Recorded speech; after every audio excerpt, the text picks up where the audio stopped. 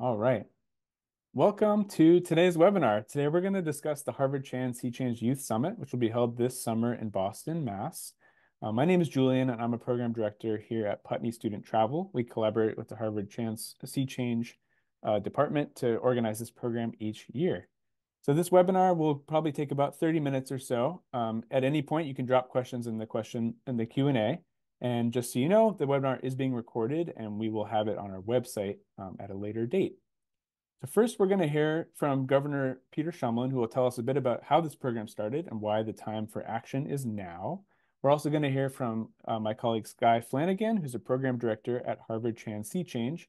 She'll give you an overview of the center, some of the highlights from last year, and um, some visions for this coming summer. Uh, we'll talk a little bit about the application process and scholarships. And we're also going to be joined today by my colleague John, who will be helping with the Q&A, and we'll leave some time at the end for any questions that come up. Um, so thank you so much for being here, and I'm going to pass this over to my colleague Peter Shumlin to introduce the program. Thank you, Julian, and thank you all for joining us. Uh, I'll be brief because I get to introduce Sky Flanagan from Harvard C-CHANGE. But I just want to, first of all, welcome you and then give you a little bit about the history of this program, why we feel so uh, passionately about this program and why we think it makes a difference. So just to take you back historically about how Putney and Harvard came together, C-CHANGE, uh, to develop this program. When I was running for governor, uh, just historically, that's the same time when Obama was running for president against John McCain, to put it in historical uh, perspective. As you can see, I looked a lot younger there, and that's true. Um, you remember there was the height of the recession and worldwide recession. Everybody running for office in those days, didn't matter what party, was talking about jobs, jobs creation, economic development. And uh, I ran on a platform that included energy independence. And basically, what I told Vermonters is listen, if you elect me, among other things in the platform that we don't have time to get into now, I said, this is what we're going to do. We're going to shut down the old, aging, leaking nuclear power plant that powered much of Vermont. And we're going to do three things. We're going to build out renewables like you've never seen before, because I believe that importing oil and coal is more expensive than developing our energy right here. Uh, I said, second, we're going to create jobs when we do that, because whenever you transform an economy from one form of doing things to another, you create thousands, thousands of jobs. And I said, third, we're going to put money in Vermonters' pockets because I believe that it's cheaper to produce our own energy through renewable energy than it is to import uh, oil and coal, mostly from countries that don't like us. And finally, that will make a difference in reducing our carbon footprint. And this little state can show folks how a little state with the right policies can make a difference. Anyway, we're on Vermont talking about those issues. In Vermont, we're a small state, so gubernatorial candidates are out there meeting people all the time. Uh, I won that election. And uh, the first thing that I did was sign a bill. I think it's in the slide that we just skipped. If you back up one, there you go. I was signing a bill. That's the first bill I signed that basically implemented the energy policies that I had made while I ran for governor It made it possible to implement policy we don't have time to get into here. But just fast forward, I served three terms. I didn't run for a fourth. But if you go to the next slide, you'll see that when I was done, when we were done, uh, Vermont was ranked the number one solar state in America by the Union, Union of Concerned Scientists. Now, when you think about Vermont, you don't think about, wow, that's a sunny place with lots of warm weather. Obviously, you know, we're a ski state. Think Ben and Jerry's ice cream, maple syrup, snow. Uh, the second thing that we were proud of is for four of the six years that I was governor, our rates went down. Power rates went down. You'd get your bill in the mail, it would be lower than the month before. Now, a good statistician would say, yeah, don't listen to that guy. He's a politician. All the states around him went down too. That's not true. New Hampshire to our east went up 100% in some cases of their utilities. New York saw huge increases. Connecticut to our south and Massachusetts were all seeing increases. So it was an unusual aberration. We did put money in Vermonters' pockets. Third, we created jobs. When I finished my three terms, one of 17 Vermonters was working in a renewable energy business. And fourth, we grew solar by 22 times. Think about that. That's huge in three terms. And we, uh, sorry, wind by 22 times, solar by 11 times. And we moved our state towards this goal of 90% renewable by 2050. So if you flick to the next slide, I'm only telling you that because this is an issue that I felt passionately. I worked very closely at that time with Gina McCarthy. Gina was Obama's uh, administrator of the EPA. Uh, she comes from Boston, South Boston, I should say. Uh, and when I, uh, and she was one of the people that I worked very closely with on energy issues, on helping to clean up Lake Champlain, which is our big lake here. We call it a Great Lake, even though it's not technically a Great Lake. Uh, and we became very good friends. Well, just by pure coincidence, uh, I was a fellow at the Kennedy School and the School of Public Health doing some teaching.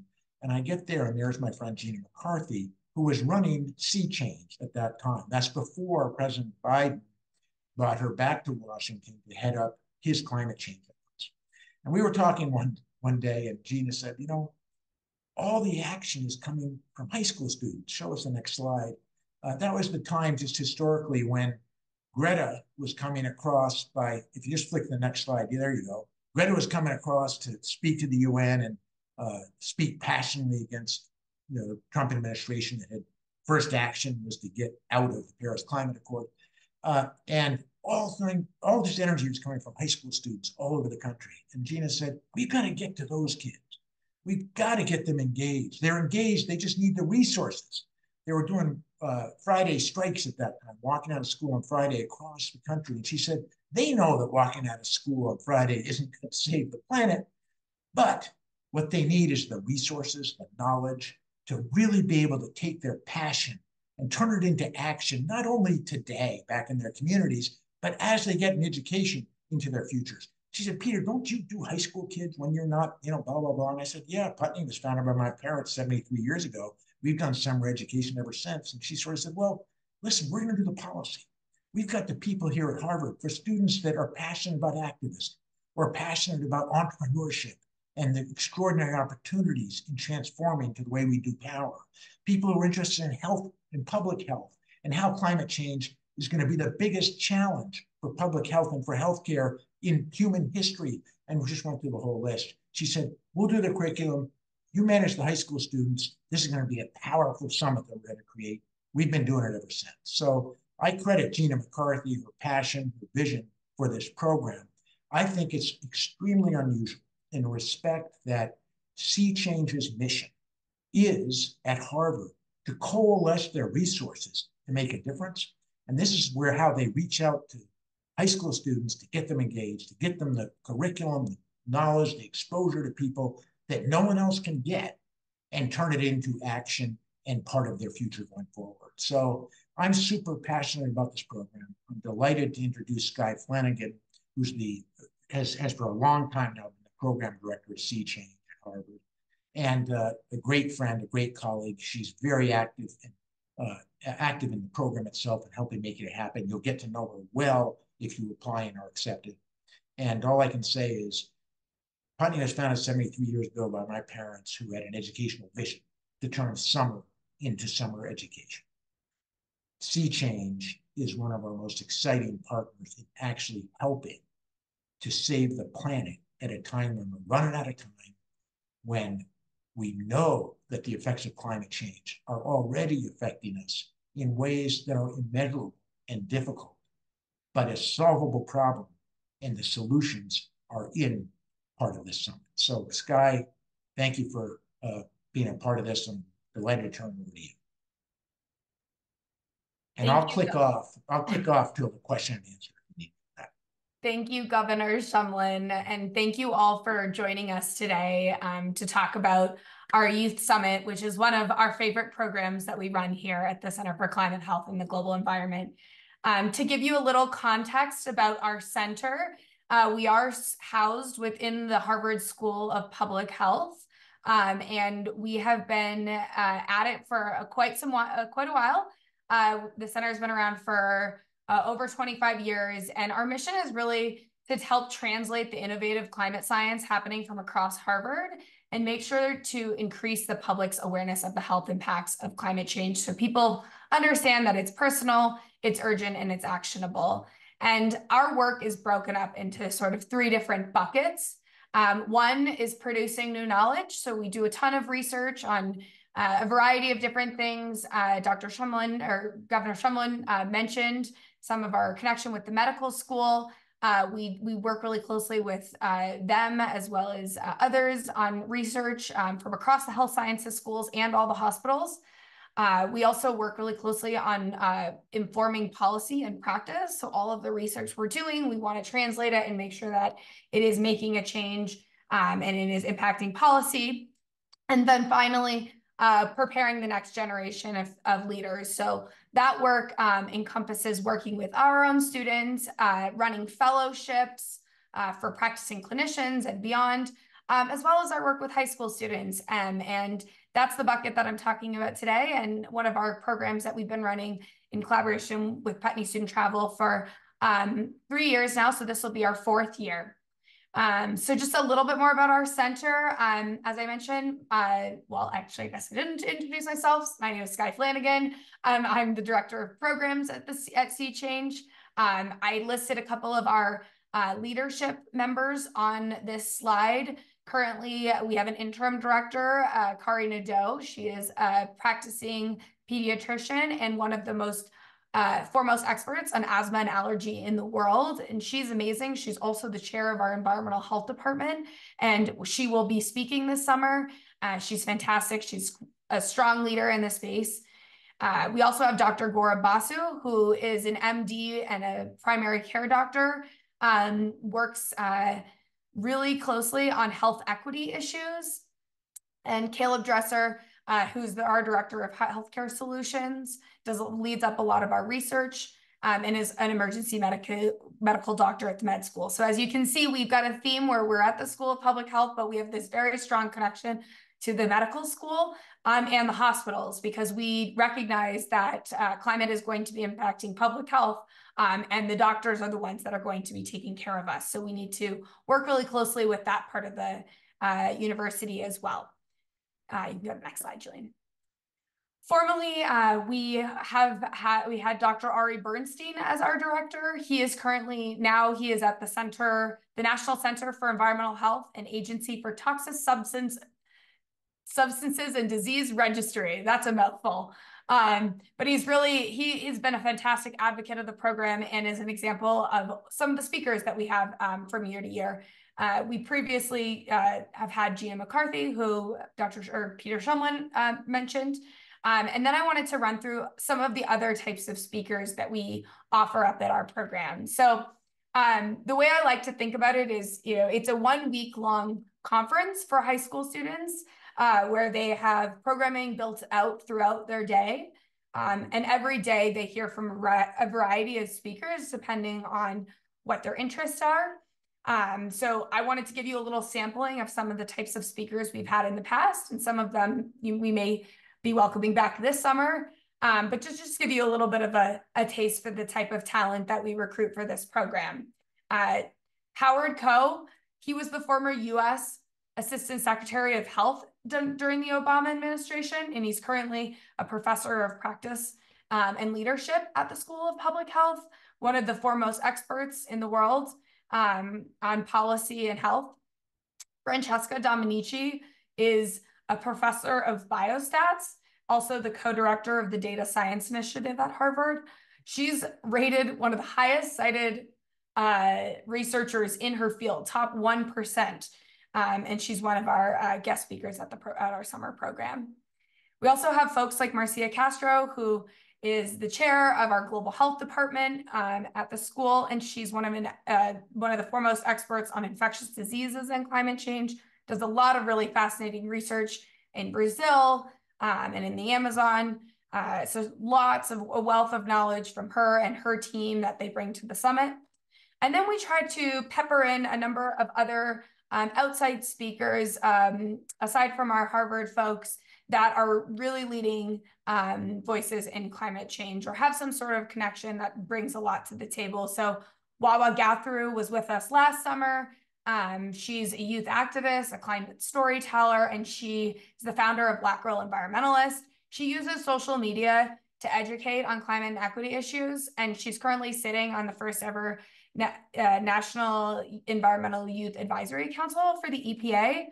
Um, she was featured on the on the cover of Vogue with Billie Eilish and seven other climate creators um, in 2023. So she's a total rock star, and she was uh, able to join us last summer, and we'll have someone similar this summer. Uh, we also get to hear from awesome politicians that have, um, you know, some sort of experience. And Jeff Sanchez is a former Massachusetts House representative, and he represents, formerly represented the district that the School of Public Health actually sits in. So he gives us a really interesting perspective of how um, big institutions and policies have played into the local community where we will be hosting our program. Um, and then we have awesome uh, other speakers like Tevin Wooten, who is a broadcast meteorologist at NBC Boston, um, and brings a lot of that perspective of, of what it, what it feels like to be in front of the camera. So for the next slide, um, uh, we're going to talk a little bit more about some of the types of instructors we have, and I'm actually going to pass it back to my colleague Julian to take to take it from here. Thanks, Guy. So every summer, Putney hires a, a group of incredible instructors to come to Boston and be the uh, lead these action focus groups we call them, which are small seminar groups focused on a one of the topics connected to the theme of uh, climate, health, and equity.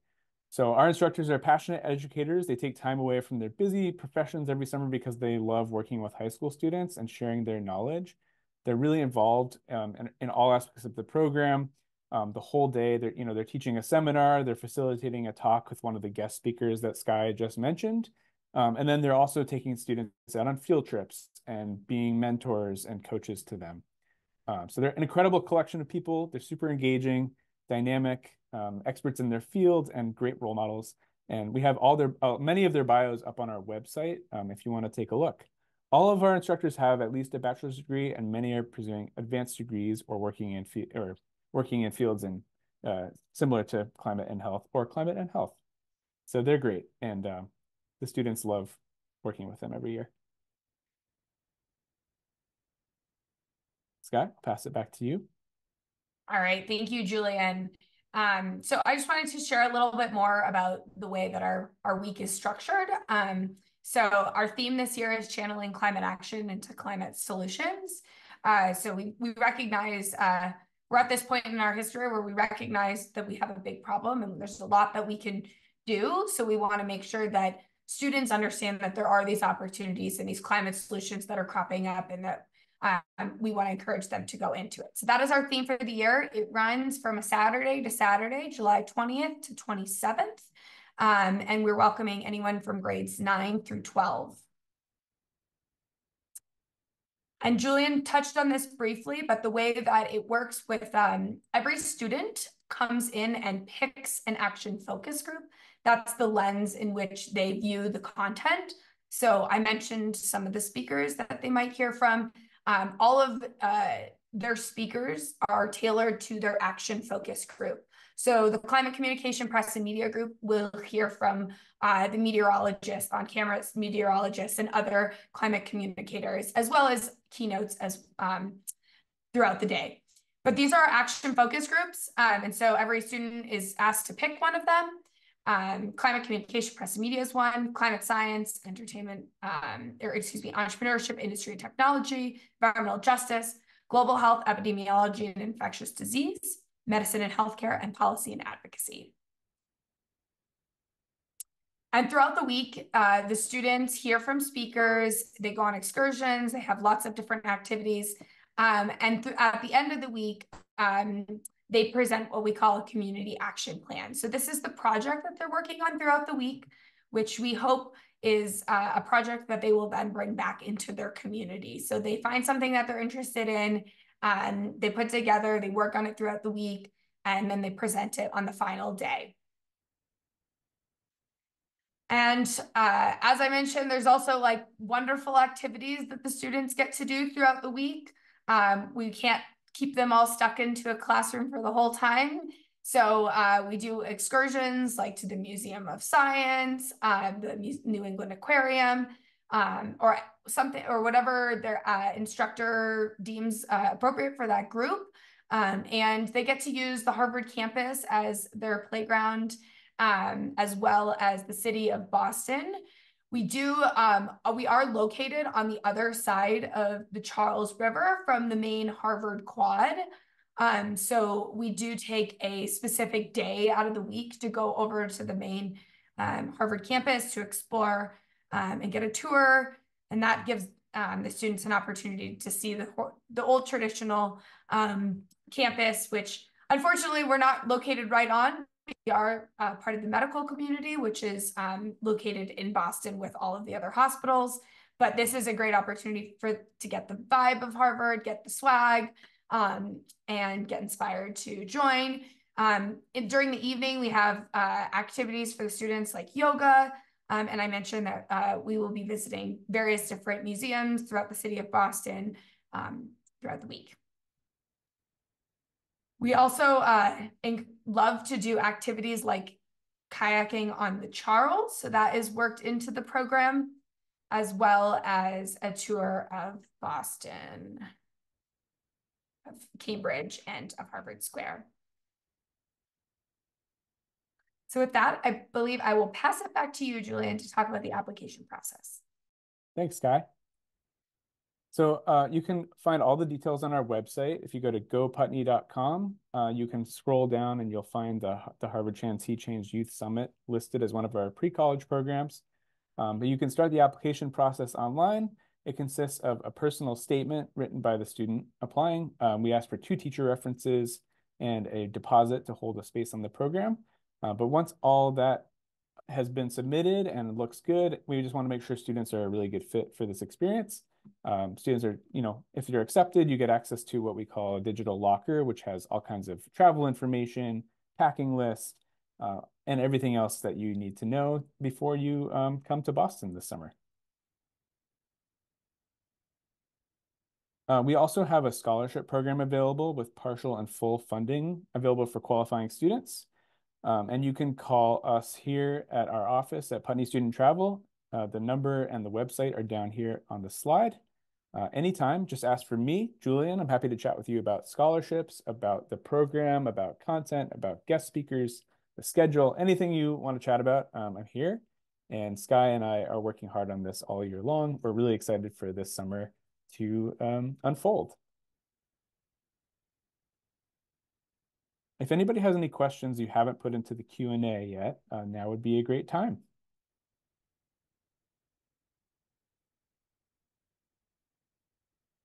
Pete, if you want to say uh, a few final words, that would be great. And then I well, think thank we'll you, Sky. Thank up. you, Julian. That was fantastic, and it gave a great sense of the program. Um, listen, one of the joys of my summer is to be a part of this program.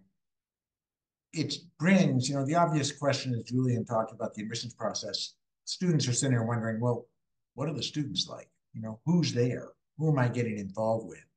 Students often think, if I come alone, which by the way, 99.9% of the students do not come with anybody they know. Students are selected from all over the country, different backgrounds, different interests. You know, will will I make friends? Will anybody like me? Will I like them? All I can tell you is because students have a common passion for they might be very different interests. Some might be interested in entrepreneurship, some might be interested in health, some might be interested in activism, some might be interested in media and communications. Some might just be interested in the science of climate. Whatever it is, what you find is a like minded group of students who are incredibly passionate, who tend to be leaders, because this program accepts students who are not only passionate, but smart and willing to make a difference.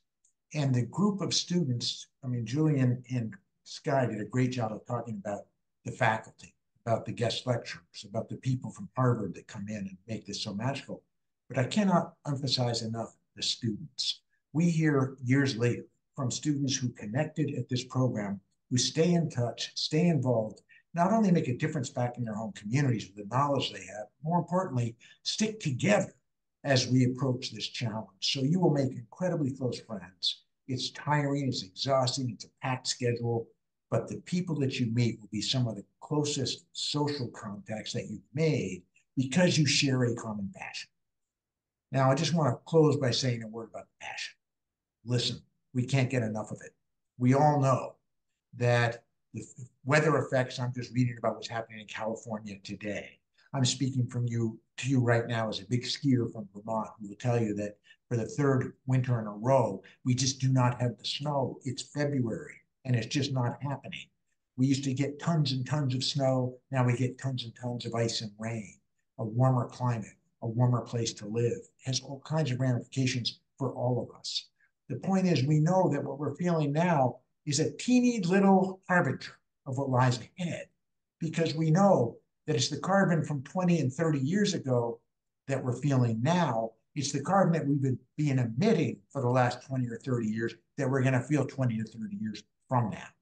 So the challenge is huge. This is going to be the biggest challenge, in my view, faced by humankind. There's huge opportunity. It's solvable, but it's going to take everybody making a difference. What you will take from this summit is the passion, new knowledge, a new appreciation of how you can make a difference, and a group of common peers that want to do it with you. So if you're interested in a really extraordinary week of this summer, this is it. Apply, we'll review your applications. If you're accepted, it's going to be an extraordinary experience. And I'll close by saying, call us anytime. I love talking about this program. Julian loves talking about this program. We'll talk about it until you're blue in the face. Answer all your questions. Don't be shy, but uh, get moving because space is tight. So thank you for joining this webinar. Thank you, Julian. Thank you, Sky. Call us anytime, and we hope that we'll see you at this summit this summer. Thank you.